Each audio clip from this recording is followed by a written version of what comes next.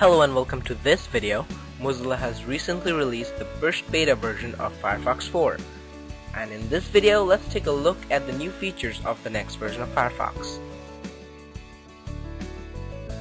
With Firefox 4, Mozilla improves support for HTML5. Now what HTML5 is, is that it allows you to view rich web content without the use of third-party applications like Java and Flash. Firefox will also be supporting the video feature of HTML5, which will allow you to view videos without use of Flash or any other third-party application. Although Firefox 4 is slower than Chrome, Opera, and Safari, it is much, much faster than the current version of Firefox. And besides, for many people, the vast number of, number of add-ons available for Firefox does make it a more compelling browser to use than any others.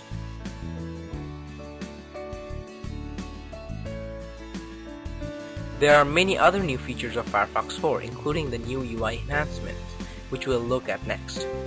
Google Chrome revolutionized the browser interface by streamlining its design and putting the tabs on top. Opera soon followed. Even Internet Explorer got rid of the file menu as it is by default, but Firefox stayed with the traditional grandfather user interface. That is, until now. You might notice with the new Firefox user interface that the tabs are now above the navigation buttons and the address bar.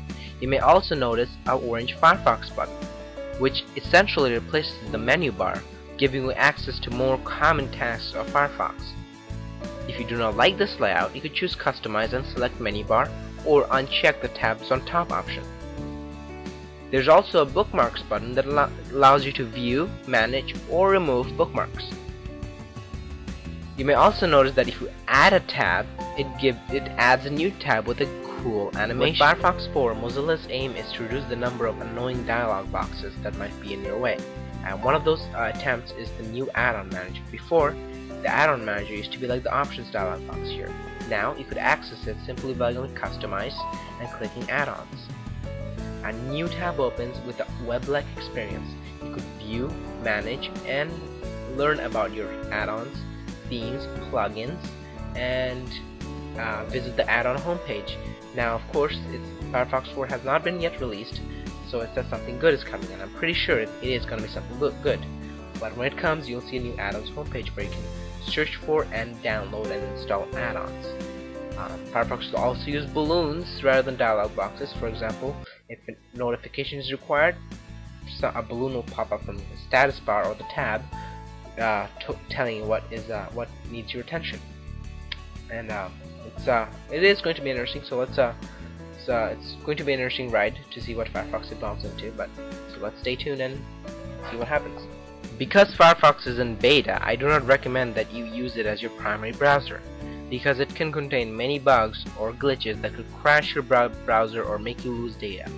Um, one of the more dramatic example of bug is that when you click on the Firefox button and click print and select print preview you see a glitch. This orange Firefox button uh, covers uh, two command buttons. Now this happens only if you're in classic mode or Windows 7 basic mode. But nevertheless this is an quote-unquote epic fail.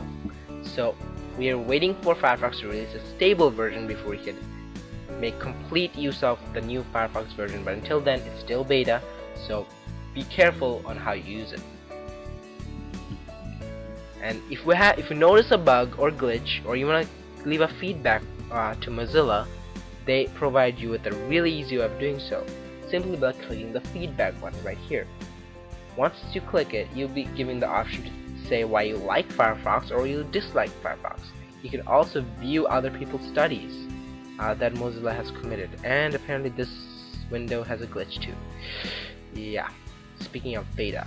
This marks the end of this video. Uh, feel free to leave a comment on this video. You can find me on YouTube on youtube.com slash 1992 uh, if you have any questions comments or requests uh, go ahead and uh, uh, send me a message on YouTube. I'll try to respond and have a good day. Thanks for watching